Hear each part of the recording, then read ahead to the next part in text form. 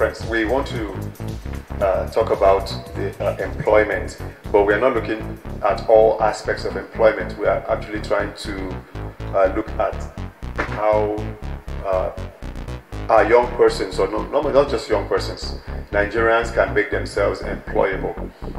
Uh, you might not have all the skills, but what are the basic things that you think that uh, somebody should have before even going to look for a job? First and foremost, what they will actually require is qualification. They like to know what you studied and your GPA, what you came out with from school. They like to know how many years experience you've had because definitely they always want to know your experience, whether you have experience in the field or not. That's the major thing they look at for. The experience is what they need before they not think of maybe employing you or not after going through several tests, which the firm may actually conduct.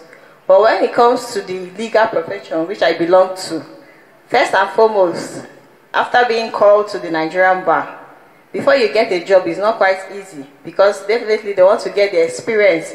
They want to know how many years you've had the experience. Then finally, when they employ you, you will not be working for them. Finally, when they employ you, you'll be working for them without salary. They won't pay you at that point. You'll be working for them without salary. You'll be going to court, observing court processes. From there on, maybe if you have any case, you bring to the law firm. The firm may then actually give you some money from the case in which you handled.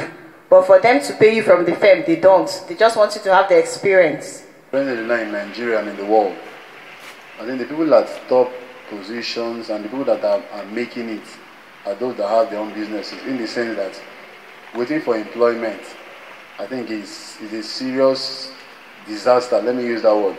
Why? Because so many so many graduates and no jobs. Like every year, Nigeria uh, releases so many graduates and there's no job for them to uh, at least manage and the rest of them. So I think we should, most of us, especially the young ones, should take our eyes off maybe government, waiting for government to give us jobs and create our own jobs for ourselves.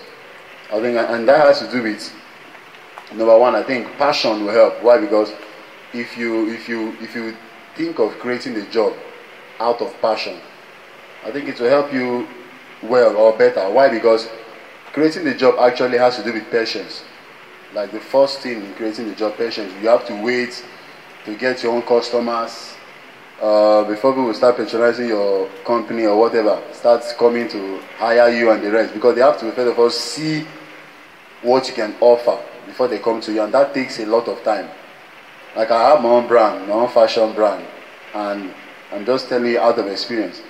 A few persons have, have, have actually identified with us why they're trying to know if what we are doing is just for fun or for like a, a, a job or, or something we're doing out of passion.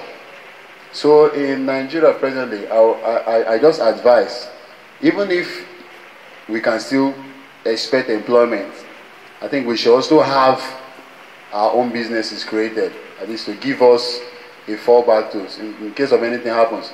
Although our governments are unable to provide or set the mechanisms for job creation to happen, or job uh, availability to be there, there is, uh, there is a challenge for those who want to create businesses. If you look at the businesses that most people can create on their own from scratch when they just leave school, it's limited to either entertainment or maybe say fashion or uh, computer related projects.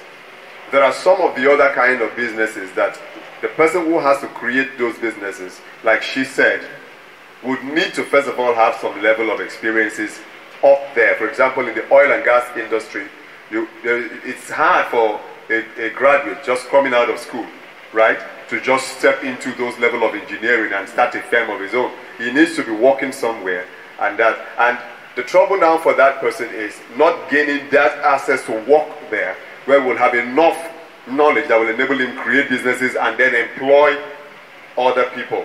So there must be the avenue, right? That employment has to exist. Even when people can create their own businesses, there must be that fact that people coming out of school can find jobs, gain necessary experience, grow. Then they come up with their own creative ideas of how to expand whatever they are doing. And then they can move on to create other businesses that can employ other people. You understand? That's, that's what I'm talking about. So the government is not totally out of this.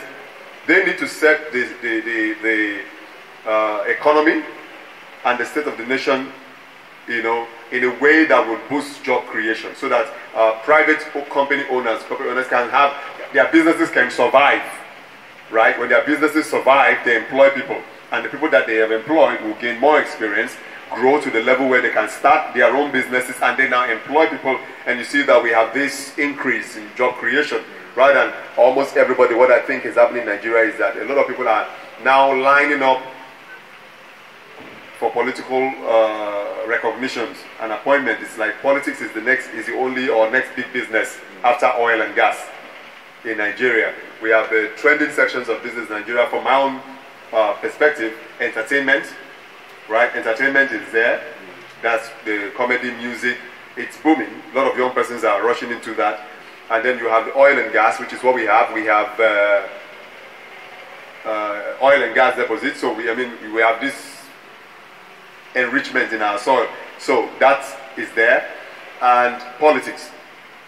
As for media, I want to just tie media alongside with entertainment, right? Because it's all the same thing. And politics. But if the government looks beyond politics, because I don't think politics should really be considered as necessarily job creation, because you give a young man uh, a few bucks to go and post in your support on social media, I don't think that's what the core of employment should be. If there is power, if there are good roads, if there are uh, control taxes, not multiple taxes, taxes that uh, the people, the, a, a growing firm can handle. You understand? If there is security, because you wouldn't want to buy certain things to start your business only to discover that it's been stolen or it's lost. Right? So there is there are roads, cuts down your time loss when you're on transit. There is power, cuts down your excess use of self-generated power in terms of your generators and all that. And the, the tariff, the electric tariff is not too much. At the end of the month, the business that is not making up to 30k profit will be receiving electric bills of over 50,000 to 80,000 from PHED you know, for no reason whatsoever. And the person has people, staff he has to pay. And then you look at security also, you know, like we talked, like we mentioned. And with all of these things available, you know, uh, people will be able to get businesses started, manufacture, get loans, access to loans, and all that. And then they can then create their businesses. If all these things are not in place, that, so we can't totally take the government, government away from this because they need to set these things in place. It's the same thing, sir, because legally it's actually the same thing. Everything is just about who know who in the society. That's just how it has been. If you have your connection, you're there. If you don't have your connection, there's nothing for you. So if, if you're not connected to somebody, you probably wouldn't be employed, right? And then uh, some persons want to employ their family members and friends. So they, they, don't, they don't say you didn't give a family members job. And so the actual persons who are qualified for the job sometimes don't get the jobs, and then the job get messed up because the unqualified persons are probably used, you know. Uh, but what it, what should a young person do to? Uh, you talked about experience. Person has experience is going to, to get the job done. He needs a bit of handy experiences and all that. Uh, what else could be there? Your certificates are there, your qualifications are there, and your experiences are there. Is there anything else that somebody might need? For example, you're going to look for a job somewhere to at least increase your chances of getting a job like in the I always use the legal profession, that's where I belong to. Like in the legal profession, they will always check out for people that came out with first class in the law school. Because it's not easy so to not be just called any, not just any qualification. No, it's not just any qualification. It's not easy to be called to the Nigerian bar. When you come out with first class, they'll be like, ah, this one there's fire. So like let's Harvard. just Like this is Harvard. yes, sir. So let's just get this one. Let's just get this one. So most times it's not about the qualification, but about the grade you got because it's not easy to come out with first class because in law school there's nothing like uh, malpractice. There's not like um, man no man. There's nothing like that. It's what you write you get. That's in law school for you. What you write you get. If you pass you pass. There's nothing like anybody is failing you from So, so you should you should be aiming for a higher, not Yes. just a qualification, but get a qualification that is uh, that That's is uh, higher, sir. uh, that's that's among qualifications be qualified. Yes. that's uh, in, in- in terms of that. But there are other little things too that can help boost somebody's uh, employability too. Communication. How you talk. Maybe you're going to look for a job and somebody is trying to listen to you how you talk. You know how about that?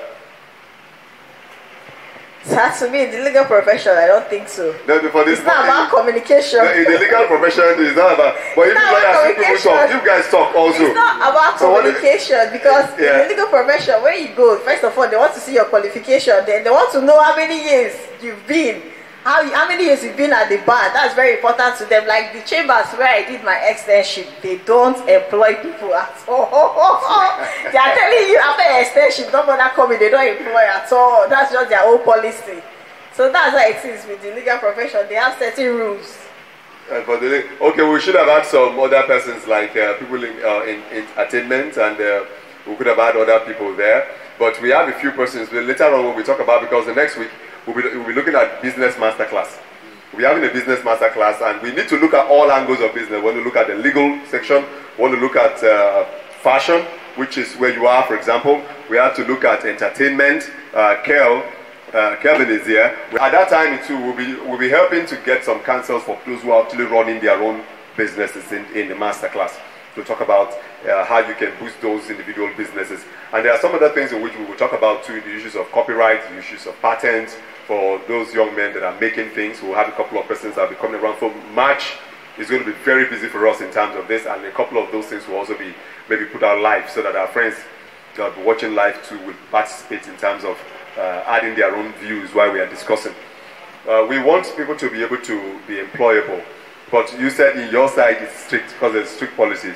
But some, but some other companies too, they don't. They look at the the individual who is coming. They look at how you talk, right? They look at how you present yourself. They look at how you uh, how you dress. You know how you come in. You, you, they, they, they also do. For example, you have to you're bidding. You want to be bidding for uh, job positions like uh, HRO or public relations officer, for example. A public relations officer should be able to have a flair, charisma, or uh, uh, you know, communication skills that you know naturally might be that he has. Even if you have all those qualifications, if he can't talk to people, Um, outside the communication and the rest, I think, like I said before, passion. Why? Because so many persons are, are, are so many persons have good jobs, but there's no passion. They wake up in the morning and they are like, ah, this kind of place again. There's no zeal, there's no drive to go to the office. So I've seen so many persons working because they didn't get the, the exact job they wanted. passion, liking what where they are working. Yeah, but in this country right now, some persons don't even care whether they like where they are working. They just want to they just want to have a job so that they don't go to steal. Yeah. They might not be excited. They want to get up in the morning and go and walk. But having passion, you know, like working, doing what you like, has its own boost in terms of energizing you because it, you're happy. You, you, you love it. Like some photographers, when they take pictures, they have to look at the photos and they really love their photos. You see them posting it and they, you know, because they're doing what they like, you know. Uh, but some persons have learned certain set of jobs and they need to be employed. They have families to feed. They don't have that choice of liking or not liking their jobs. if they have to like their jobs, that means they probably will lose the job they are currently doing, and then they have to go back home and be hungry. So they don't necessarily like their jobs. But passion is the good thing when you want to create your own business, want to define and design your own business per se. It's a good thing because if you like it, your driving force for it is going to be uh, there. You won't be lazy about it. You like to push it out because it's like it's you. Hmm? Yes. So uh, there, there are a lot of other things that are there. Uh, writing skills. Yeah, writing skills. Writing skills is something else. For example, you know, most people who are going to look for a job, your first major impression to the firm is your application letter. Before they, sometime before they get to talk to you, it's your letter. So if your writing ability is poor, you lose it from that point because some of your letters will just be discarded. Probably, in fact, you might not even have the uh, the opportunity of defending what it is that you wrote if you didn't even write. If we're not clear, you were not detailed. I went to the bank to withdraw money and the corper met me, the youth corper, a lady met me. And she was using Igbo to communication like, I should help fill this form, fill this and fill that. And I was surprised when she told me she graduated with a, a 2 1. And she, and she, she can't even fill the form to withdraw money. So, that as what am I trying to say? In Nigeria, actually, to, to be employable is something that. There's a lot, of, a lot of the graduates are not employable in that case. But when you're talking about this, then when we talk about employment, then it should just be on graduating with the qualifications that you mentioned. I know you are very defensive of your law. And the qualifications, such, You're very defensive such person your- will be employed. Yeah, but with the qualification, she- that person, but the person won't be able to do, do much. yeah. They will sit behind the desk looking for workers that will be filling forms for her and uh, doing a bit of the errands, and she will just be giving them back smiles and maybe a, pat in the back, a little rub on the cheek to keep getting it going, and she'll be getting her monthly pay. And surprisingly, too, there's a firm, there are firms she might land in. She will even get promoted in that firm because of personal relationship with some top guys in the firm.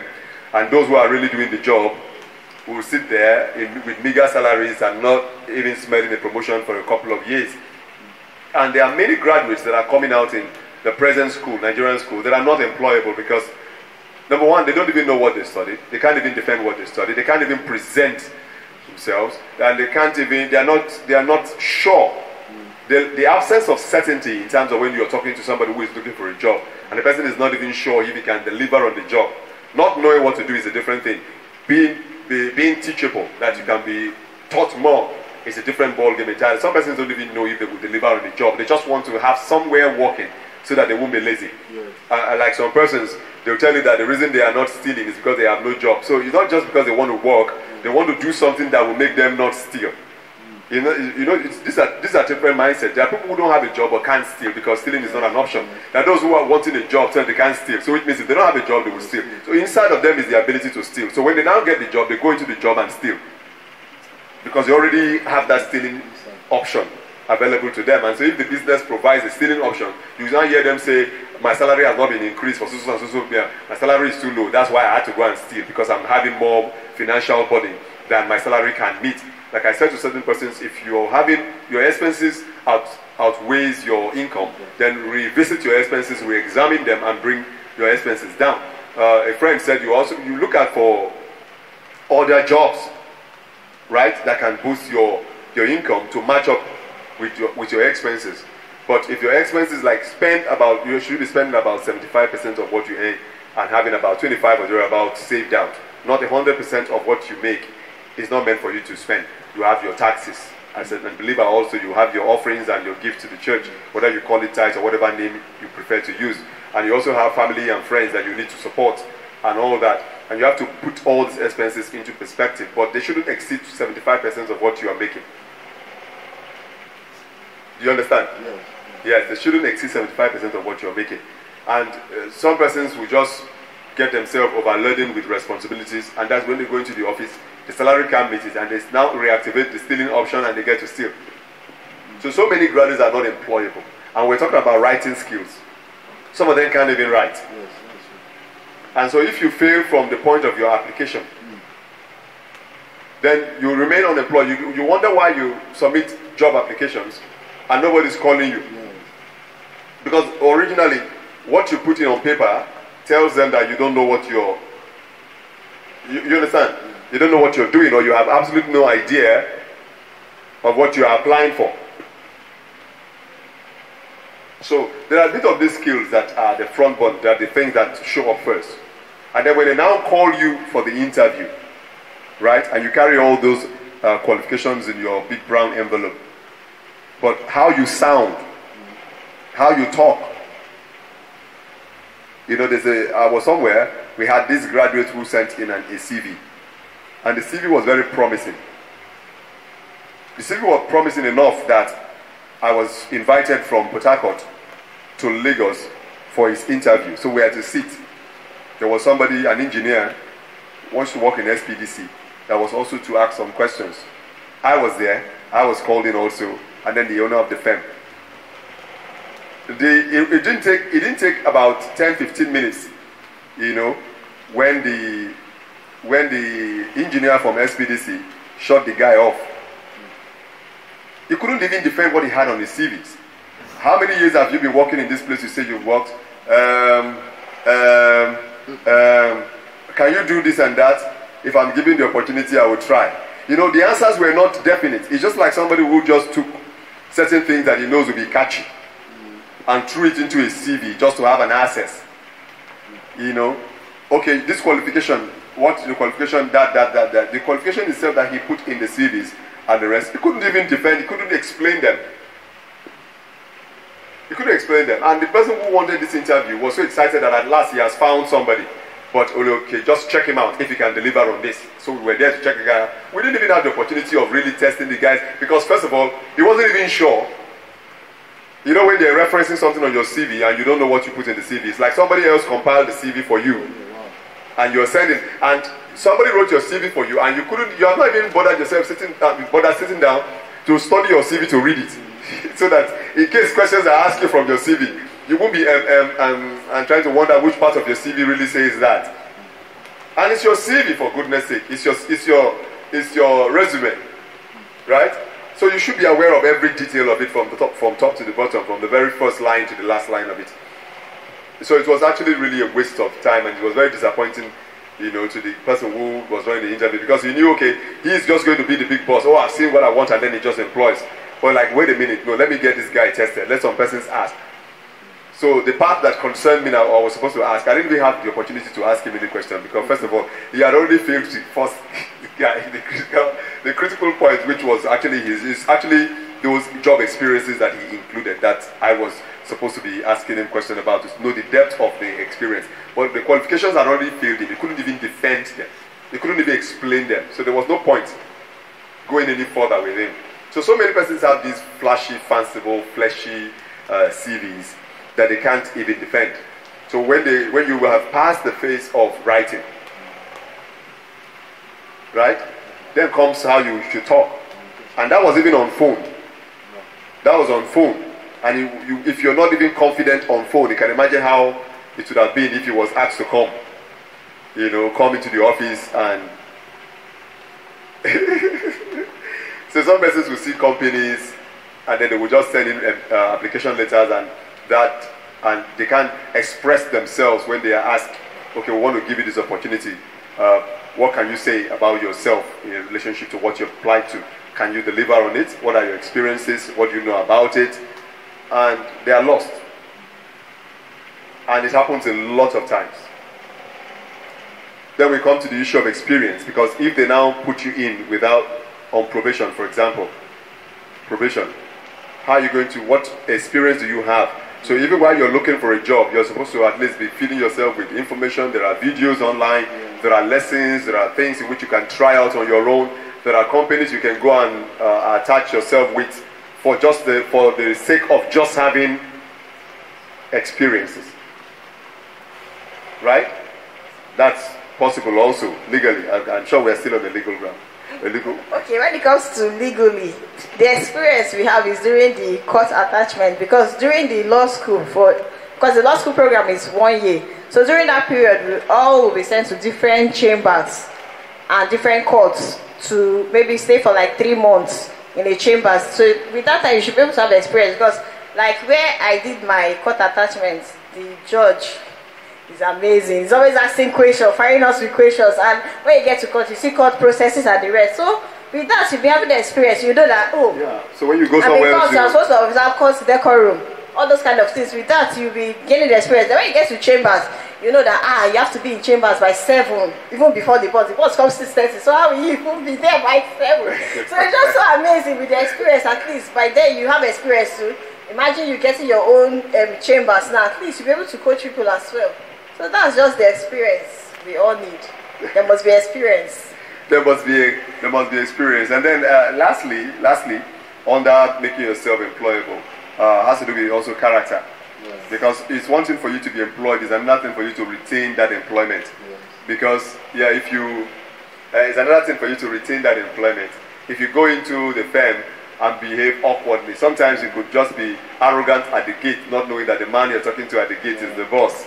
Uh, you could be in the firm employed and your attitude in terms of like lateness and you start giving excuses from the very onset of the job, you lose it. I'm coming from, oh, the boss was, oh, the vehicle was that. You know, you need to kill your excuses and look for how to deliver and rather than trying to have yourself excused every time cut down on how often you use the word sorry within the firm.